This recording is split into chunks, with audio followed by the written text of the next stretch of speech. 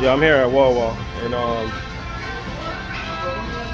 came to get me something. I made an observation. You know what I mean? Social distancing, of course. But I made an observation just now, right? I seen a Coca-Cola driver and he's um over there in the corner. Let me try to get y'all a picture of him. Well, he's busy working right now. But what I saw he was just standing there waiting to get checked in, waiting for the manager to check him in. He was just standing there and standing there and waiting and waiting and waiting, right? Food service drivers, we don't go through that, yo. And for the pay and for what y'all got to put up with, ain't even worth it, yo. You know what I'm saying? Not worth it. It's not worth it. I'm gonna show you guys what I'm talking about. Um, these people, they got a lot of work. They got to put up with these people, um, checking them in and stuff like. Um, there they go right there. They got to merchandise all that crap. We don't got to deal with that, man. We do not deal with that. They got to merchandise all of that. You know what I'm saying? And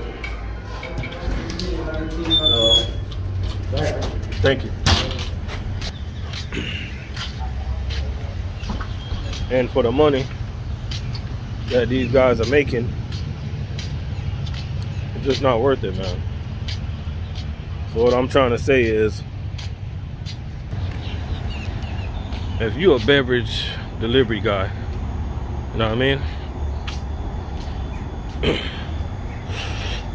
You might want to think about food service. Because um there's definitely some good money in food service we don't gotta sit there wait to get checked in. We don't gotta get um we don't gotta start the shelf or nothing like that rotate products. We don't gotta do all that.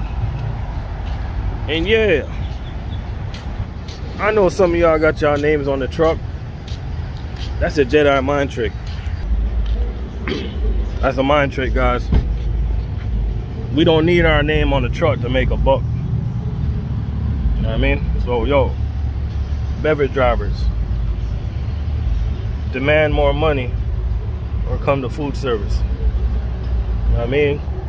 Because all the work I see this guy got to do right now, got to stack all them bottles on the shelf right now. It's no brainer, yo. It's no brainer. I know a lot of y'all, y'all going for the uniform Oh, that Coca-Cola shirt look good.